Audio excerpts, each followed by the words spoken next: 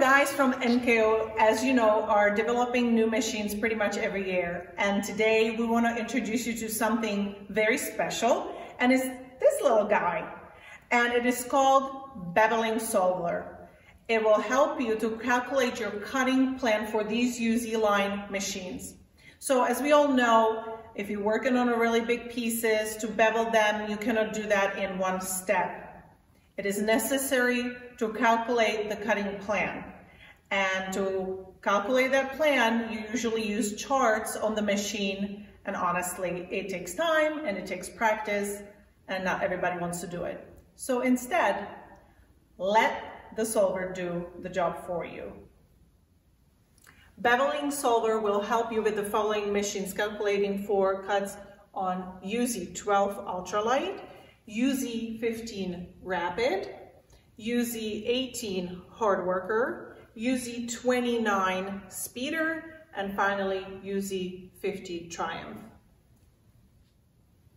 The beveling solver design is heavy duty. It's equipped with a protective sleeve, so it is ready to work on a busy production site. Uh, you have a connector here down below for charging and system updates cable. And uh, also you have a magnet on this side, so it could be attached to your machine when you're ready to work. The use is very simple and the system allows you to choose from 13 different world languages. Uh, it also gives you the choice between the metric or imperial units setup as well as the screen sleep time options. Let's take a look now what we have to enter. So here we're going to choose the bevel height. Let's say I want to do 22. So I'll choose 20 and I'll add one, two. This is millimeters right now, but uh, of course you have the choice to change it to inches as well. And let's look at the bevel angle. Let's say I want to do 45 degrees. And then by pressing OK, you will get your calculation on how many steps it will take to achieve your bevel and also the individual values for each pass.